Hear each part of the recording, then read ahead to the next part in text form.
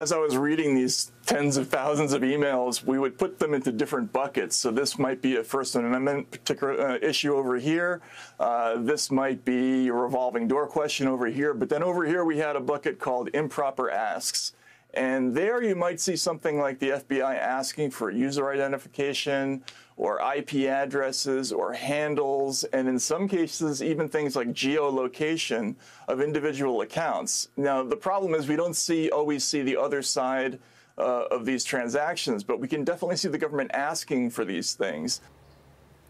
That was Matt Taibbi speaking with Maria yesterday on Sunday Morning Futures, one of the few journalists asked by Elon Musk to go through the Twitter files and reveal them.